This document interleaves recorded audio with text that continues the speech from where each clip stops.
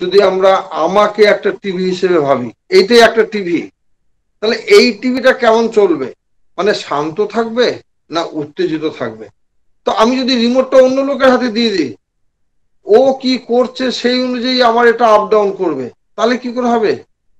আমার এই টিভি তো আমার কন্ট্রোলে থাকবে।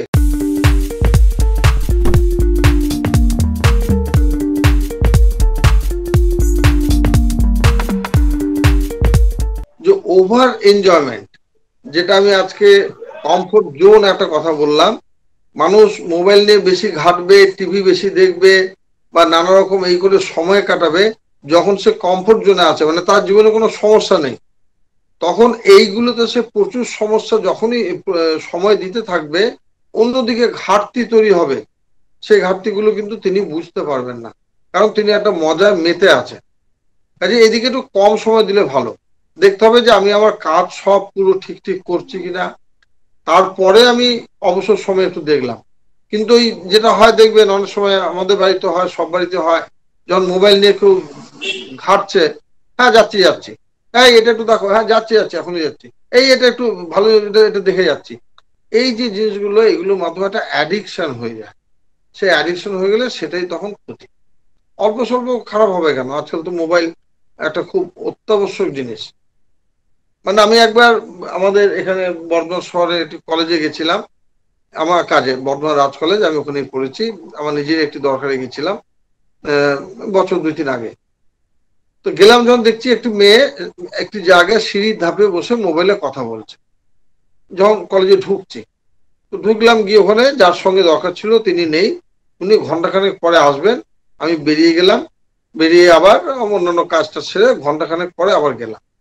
তখনও দেখছি মেয়েটি ঠিক ওইখানে একইভাবে বসে কথা বলে যাচ্ছে। মানে এগুলো আমি কিছুদিন আগে একটি ছবি দেখছিলাম, তাতে বলছে এই যে কানে এইভাবে আমরা মোবাইল যদি অনেকক্ষণ রেখে দিই এবং যদি গায়ের সঙ্গে লাগিয়ে রাখি, এই লাগিয়ে রাখবেন না, এটা একটু দূরে রাখতে বলে, লাগিয়ে রাখলে আস্তে আস্তে না এই জায়গাগুলো লাল হতে থাকে। এটা দেখাচ্ছে কম্পিউটারের মাধ্যমে যে এই জায়গাগুলো লালচে ভাব হয়ে গেছে। আমরা বাড়ির চোখে দেখায় বুঝব না মানে ভালো কম্পিউটারের কোনো মেশিনের সাহায্যে, এবং সেই লাল ভাবটা আস্তে আস্তে ছড়াচ্ছে। তার মানে কি এখানে নানা ক্ষতিকারক প্রতিক্রিয়া হচ্ছে। এটা রোজ রোজ হতে হতে তো খারাপ হবে। বা আমরা যদি টানা মোবাইল দেখতে থাকি, চোখের উপরে চাপ পড়ে, মনে চাপ পড়ে, এবং মোবাইল ঘাটা এমন একটা জিনিস, যেই সময় আমার হাতের আঙুল আর চোখ, এটা ছাড়া বাকি সমস্ত দেহ যন্ত্র স্টপ হয়ে আছে। কাজে এইভাবে থাকলে আমি অলস হয়ে যাব, ওজন বাড়বে, বাচ্চারা যদি বেশি মোবাইল ঘাটে তারা কথা বলবে না, এরকম অনেক বাচ্চা শোনা যাচ্ছে আজকাল। যে বাচ্চারা কথা বলে না। হুম? মানে কারণ সে কথা শুনছেও কম, বলছেও কম। ক্ষতি হয়। আমরা সবাই টিভি দেখি।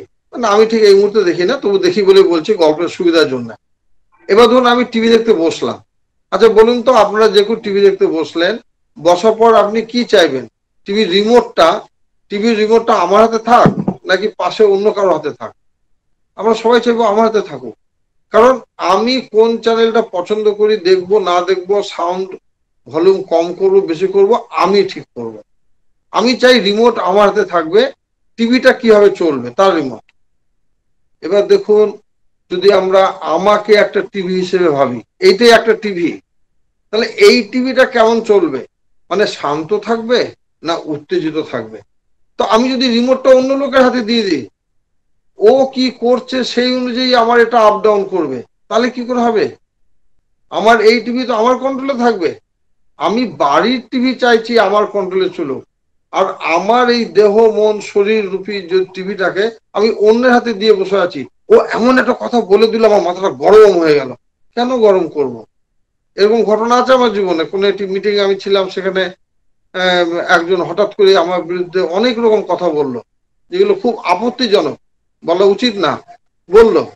হ্যাঁ কিন্তু আমি একদম চুপ করেছিলাম, কিচ্ছু বলিনি। তো মিটিং শেষে, ঘটনাটা অনেক বড়, আমি খুব সংক্ষেপে বলছি। মিটিং শেষে আমার এক খুব প্রিয় ছাত্র, সে বলছে যে, আপনি এরকম চুপ করে রইলেন, এটা তো আপনার প্রতিবাদ করা উচিত ছিল। এলা করলে কি সুবিধা হতো? প্রতিবাদ করলে ও আরও চাচাতো, আরও কথা বলতো। তাছাড়া আমি প্রতিবাদ করলাম না, ও চুপ করে গেল। কিন্তু লোকে তো এগুলো শুনলো, আপনার বিরুদ্ধে বলল, জিনিসটা তো ঠিক হলো না। আমি ঠিক হলো না মানে? যে, না, এগুলো তো ঠিক নয়। যেগুলো উনি বললেন আপনার বিরুদ্ধে, এগুলো তো ঠিক নয়। আমি তুমি কি করে জানলে? বলছেন, আমি জানি তো, আপনাকে এতদিন ধরে দেখছি, জানি না। তাহলে যে লোকগুলো মিটিংয়ে ছিল, সবাই জানে এগুলো ঠিক নয়। আমি কেন প্রতিবাদ করতে যাব? আমরা যদি নিজেকে একটু শান্ত করতে পারি, প্রতিবাদ করার দরকার নাই। এবার সে আমার ক্ষতি করছে, আমি আটকাবার চেষ্টা করব, সেটা আলাদা। কিন্তু ও কিছুটা বলল, অনেক ছেলে মেয়ে দেখবেন, কম বয়সী ছেলে মেয়ে বাবা মা তুমি গালাগাল দিয়েছে বলে বিরাট মারপিট করে ফেলল। ঠিক আছে, সরে যাও, কোনো দরকার নেই। হ্যাঁ অন্যায় প্রতিবাদ করতে হবে। আমি প্রতিবাদ করতে বারণ করছি না, কিন্তু বেশিরভাগ ক্ষেত্রে আমরা ওভার রিয়েকশন করে ফেলি। যতটা দরকার তার থেকে বেশি করে ফেলি। সেটা না করাই ভালো। প্রথম যেটা হচ্ছে, ধরে নিতে হবে যে আমারও ভুল হয়। আমারও ভুল হয়, এটা আমাদের ভেবে রাখতে হবে। আমার চারপাশে যারা আছে তারা ভুল করছে, তাদের ব্যবহারে আমি রেগে যাচ্ছি, এটা ভাবলে হবে না। আমি যখন তাদের ব্যবহারে রেগে যাচ্ছি, রেগে যাওয়াটা কিন্তু যেটা বললাম, যে রিমোটটা আমি ওর হাতে দিয়ে দিয়েছি। ও কি করবে, সেই অনুযায়ী আমি রাগ করব, না শান্ত থাকব, ঠিক হবে। কাজে আমাকে আমার রিমোট আমার হাতে রাখতে হবে যে আমি উত্তেজিত হব না, আমি রাখব না। প্রতিবাদ করব। আমি যেমন অনেক সময় অনেক জায়গায় বলি, এই শোনো, তুমি যেটা করলে না, খুব খারাপ করলে। আমি কিন্তু খুব রেগে গেছি তোমার উপর। মানে হয়তো আমি রাগারাগি করছি না, চিৎকার করছি না, কিন্তু তুমি এটা ঠিক করনি। এরকম করবে না। দৃঢ়ভাবে বললাম। ব্যাস দ্যাট ইজ সাফিসিয়েন্ট চিৎকার করে একবার কি ভেবেছো তুমি? এগুলো তোমার কোনো কাণ্ড জ্ঞান নাই নাই। বলো দরকার নাই। এবং আরেকটা কথা বলি সব শেষে সেটা হচ্ছে কি, আমরা যা যা করি, আমি আমার ভালো চাই বলে করি। তো আমি কি রেগে গেলে আমার ভালো কিছু হয়? আজ পর্যন্ত হয়েছে, কেউ রেগে গেছে, তার ভালো ফল হয়েছে। সেরকম ঘটনা আছে, রাগ দেখাতে হয় মাঝে মধ্যে। কিন্তু সেই রাগটাও উত্তেজিত না হয়ে প্রতিবাদ করা, ঠান্ডা মাথায়। হম, এটা করা ভালো। তুমি কি দেখেছ প্রভু জীবনের পরাজয়? আমরা পরাজয়কে ভীষণ ভয় পাই সবাই। কাজেই আমরা কি করি, সবসময় জয়ী থাকতে চাই। কিন্তু এই পরাজয় নানাভাবে হই, তার কারণ আছে, আমার চারপাশে যারা আছে, তারা বেশিরভাগ ক্ষেত্রে বা অনেক সময় আমার সঙ্গে সহযোগিতা করে না। তারা চুপ করে থাকে, নীরবে থাকে। হ্যাঁ নানাভাবে আমাকে অসুবিধা ফেলার চেষ্টা করে। তো এই স্বপ্ন যাতে ঝরে না যায়, তার জন্য আমাদের জাগতে হবে এবং জাগার প্রধান মাধ্যমে হলো আমাদের স্ট্রেস ফ্রি থাকতে হবে সম্পূর্ণভাবে। অকারণ চিন্তা করে কোনো লাভ নেই। যে চিন্তা এতদিন করেছেন ঠিক আছে, এবার চিন্তা ছেড়ে দিয়ে আগামী দিন কীভাবে ভালো থাকা যায়, সেই চিন্তা আমাদের করতে হবে এবং ভালো থাকতে হবে। আমাদের প্রাক্তন রাষ্ট্রপতি, প্রয়াত রাষ্ট্রপতি এপিজে আব্দুল কালাম, তার একটা কথা আছে সুন্দর। স্বপ্ন সেটা নয় যেটা আমরা ঘুমিয়ে দেখি। ঘুমিয়ে ঘুমিয়ে দেখি।